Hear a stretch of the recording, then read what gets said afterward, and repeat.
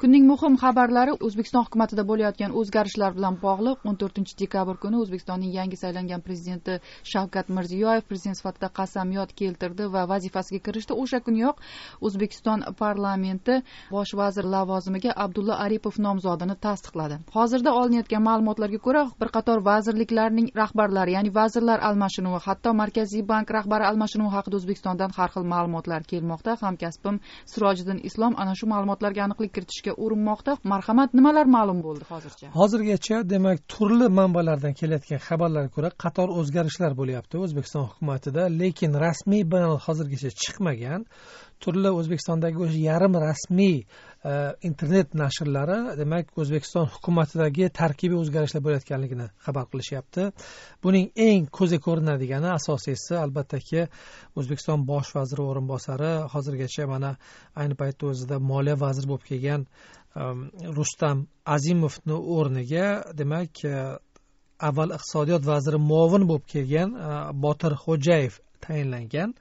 Oltmish yoshli botir xo'jayev e, demak ikki ming to'qqiz ikki ming o'n birinchi yillarda qisqa bir muddat bosh vazir o'rinbosari vazifasini ham bajargan edi. Islom karimov demak e, ikkinchi sentyabrda vafot etishi ortidan xabaringiz bor rustam azimov uning eng asosiy vorislaridan biri sifatida ko'rilayotgandi lekin rustam azimovni demak taqdiri hozircha bizga noma'lum. Shavkat mirziyoyev saylangandan buyon markaziy bankdagi manbalar mullajonov ham lavozimidan ketadi deb xabar berib kelayotgan edi.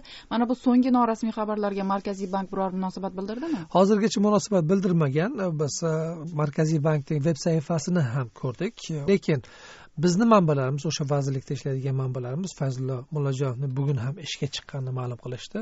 Endi mullajonov demak bu o'sha e, o'zbekistonni marhum prezidenti islom karimov bilan qariyb bir davr mobaynida markaziy bankni boshqarib kelgan o'zgarmagan eng katta rahbarlardan biri edi. shunday yigirma besh yil davomida mana shu markaziy bankka rahbarlik qilib kelgan odam va bilishimizcha rustam azimov uning o'rniga kelishi ehtimoli katta. Ammo bu ham hozircha tasdiqlanmagan. Endi mana hozir xabarlar kelishda davom etyapti. Oliy sud raisi o'zgararmish e, keyin ichki ishlar vaziri o'zgararmish milliy xavfsizlik xizmati strukturasida o'zgarishlar bo'larkan degan xabarlar kelyapti. Hammasi norasmiy xabarlar. Biror bir aniqlik kirita oldingizmi mana shu xabarlarga? E, aftidan bu o'zgarishlar hozircha bo'lgani yo'q lekin boshqa strukturalarda bo'lyapti. Man hozir aytib o'tishim mumkin. Birinchi navbatda o'sha prezident farmoniga ko'ra bosh vazir o'rinbosari adham ikromov sog'liqni saqlash vaziri etib tayinlangan.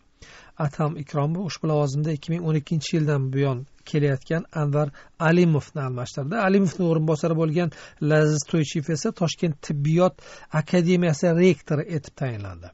O'zbekiston bosh vaziri birinchi o'rinbosari etib o'zbekiston temir yo'llari aksionerlik jamiyatining rahbari ochilboy ramatov tayinlangan. Ochilboy ramatov bu o'sha islom karimovni ko'plab maqtovlariga loyiq bo'lgan ehm, tahsillariga o'zbekiston qahramoni unvoniga sazovor bo'lgan taniqli o'sha temir yo'lchilardan biri. Bu ham o'sha o'zbekistondagi o'sha yarim rasmiy nashrlarning o'zbekiston hukumatidagi manbalarga iqtibosan xabar berishyapti. Hozir lavozimga tayinlanayotgan kadrlar orasida yangi hali o'zbekistondagi o'sha elitasida ko'rinmagan odamlar ham bormi yoki ular aksariyat ana shu matbuotda tanqid qilinayotgani kabi avval urilgan Э, karimov davrida va hozir qayta tayinlanayotgan amaldorlarmi xuddi shunday ya'ni hozircha yangi qonni ko'rayotganimiz yo'q yangi shaxslar yoshlar kelayotgani yo'q hukumatga misol uchun yosh iqtidorli g'arb yoki misol uchun o'sha zamonaviy texnologiyalarni egallagan zamonaviy bilimlarni biladigan yangi bozor iqtisodiyoti